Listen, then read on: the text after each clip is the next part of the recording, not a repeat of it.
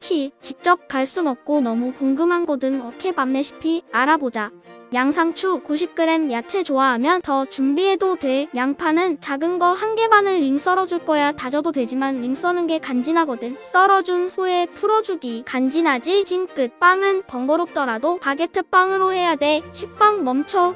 고등어 캔 한 개를 준비해서 물을 전부 버린 후에 키친타월로 조심스럽게 물기 제거해줘. 전분 가루를 골고루 뿌려줘. 아주 골고루.